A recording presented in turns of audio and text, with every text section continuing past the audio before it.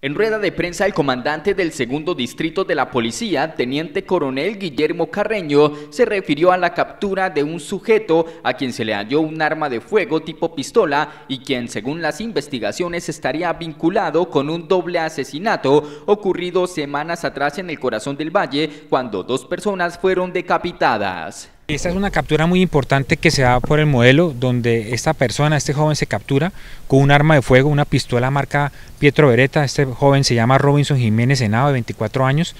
Esta persona, de acuerdo a las investigaciones que estamos llevando, al parecer participó en el hecho donde mueren dos jóvenes eh, en el sector de la playita que fueron decapitados. Es una situación, una investigación que estamos llevando adelante. Esto es importante resaltar que hay cuatro capturados, una persona que está desplazando en un vehículo blindado y esta investigación va adelante y va generando muy buenos frutos en el esclarecimiento de este hecho que se presentó en el municipio de Tuluá. También es importante resaltar que esto nos ha, llevado a esclarecer otras situaciones que se han presentado acá en el municipio, como otras lesiones y otros hechos de otros homicidios que se han presentado acá en el municipio.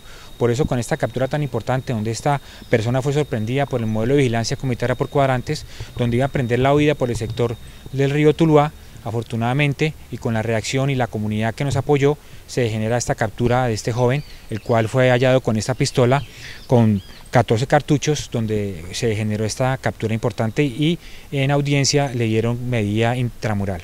El oficial también se refirió a los recientes operativos que se adelantan en el municipio de Tuluá contra el tráfico local de estupefacientes. En el tema de capturas por estupefacientes se han realizado en estos días seis capturas muy importantes de distribuidores de estupefacientes.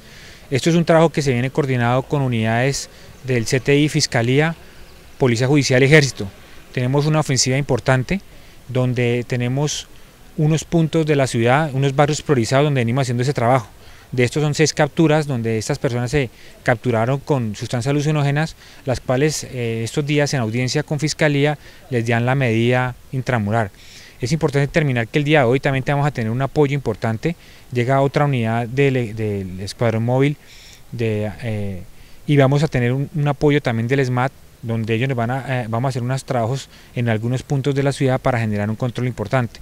También horas de la noche, hoy viernes, que es un día donde confluyen muchas personas en la calle, tenemos un dispositivos importantes para cierre de establecimientos, control de establecimientos públicos, donde vamos a generar un control importante en el municipio y también en los municipios vecinos.